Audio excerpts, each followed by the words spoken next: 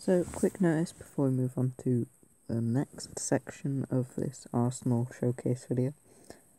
Um, I'm going to be doing showcases of a bunch of trading cards I've been getting and trading cards I've owned for a while.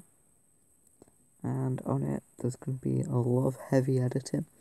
So, there might be quite a bit of editing on here. Well, there's definitely going to be a bit um, if I've got enough storage to do so afterwards.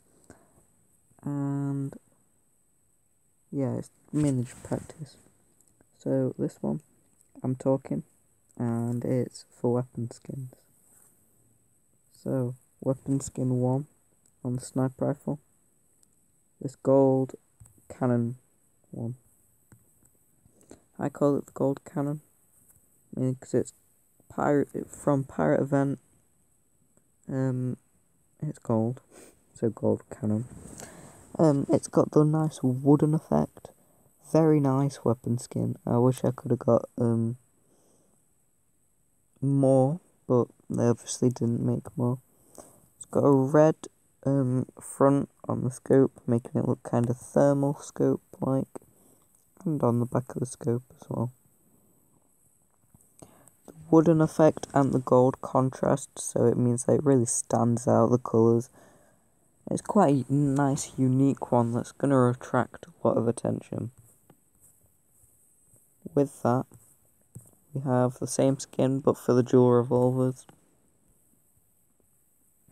But to be honest, it has a completely different effect on these dual revolvers. In my opinion, it makes it more, look more like uh, cowboy or sheriff revolvers and especially with the gold bits around the barrel and where the um, little magazine, what do you call that? It's definitely not a magazine, but where the little barrel for the bullets are, the one that flips out to the side. Pretty sure I know the word, it's just not coming to me. So that's that. I'll just go on to the next sniper rifle skin, which is this desert camo skin. Again, with the orange, which the original sniper rifle doesn't have on the scope lens. It's desert camo themed, as I said before. Pretty simple, there's not much to, else to say.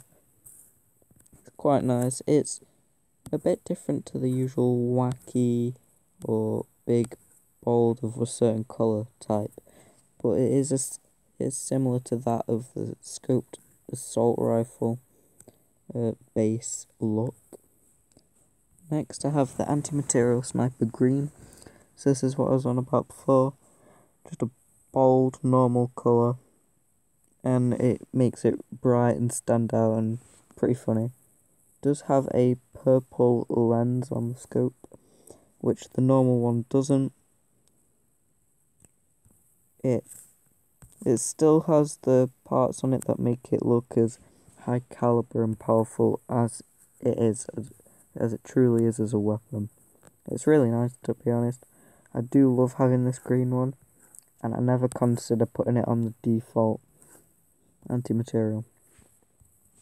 Next we have the pirate theme one again, but on the bazooka. I don't use bazooka, so it's always on this. To be honest, it looks because the main part is the big, well, the biggest part's the rocket, most of it's wooden. It looks like it's a coconut launcher. So, in the actual release trailer for the event, I think I reacted to it on here. I'm pretty sure it was in that one where I said, oh my god, it is a new coconut launcher? And I said the same about the parrot launcher as well but I didn't really see it much at the time. So that looks cool. And then the same skin again on the Airsoft SMG. To be honest,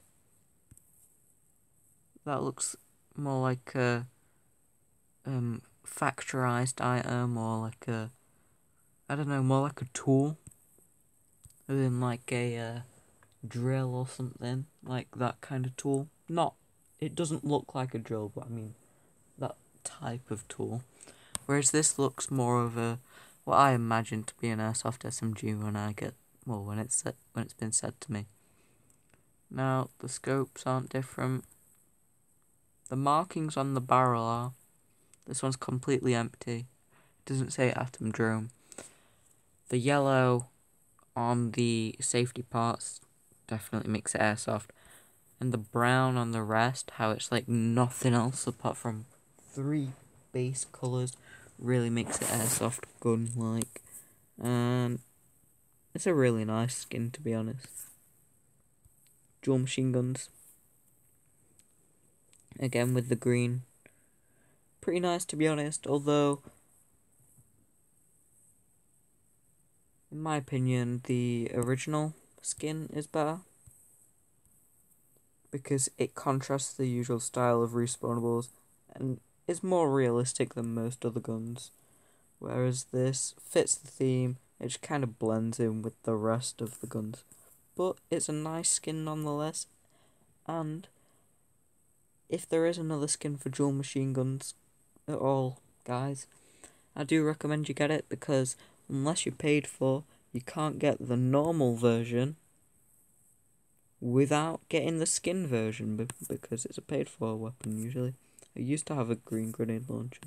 I could say all my old skill skins. Let's just keep on to this one. Green revolver. It's a bit bright. It's out there. It might give you away more this one. But that's if the clothes don't, so that's not really a problem. Um this is probably my favourite green skin apart from the dual pistols I had on my old account. Damn, I missed them. Green dual pistols.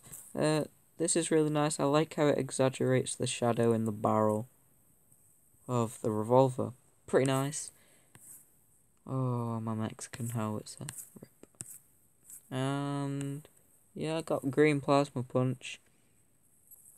This one takes out all the pink bits and that, puts it with a nice silver. It's quite a nice, just clean skin. It's a nice one to own. And that's about it. Right. Armors. Platinum armor. That's all I own in the way of armors. 12 accuracy, pretty good. 30 health, pretty good. 7 agility. Well, that's a bit standard.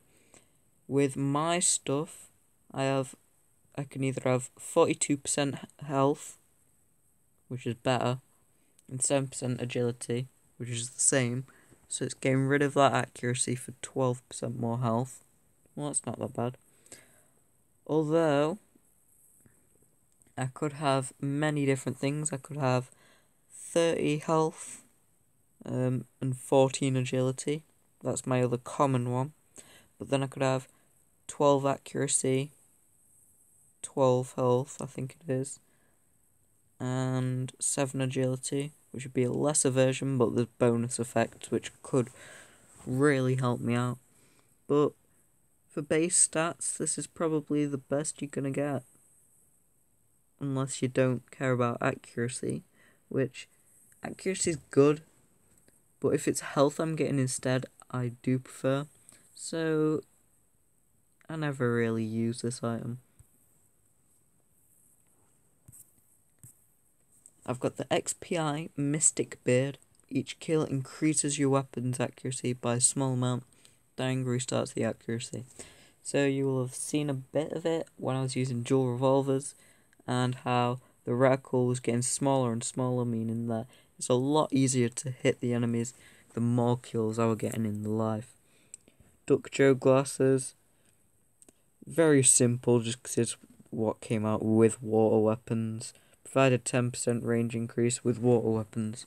That's it, not very good to be honest. I never really use it unless I use dual water pistols because they the only one that could do with a range increase. The uh, water rifle has got perfectly good enough range and I'd rather have 30% health than the benefits of 12% accuracy and 10% range.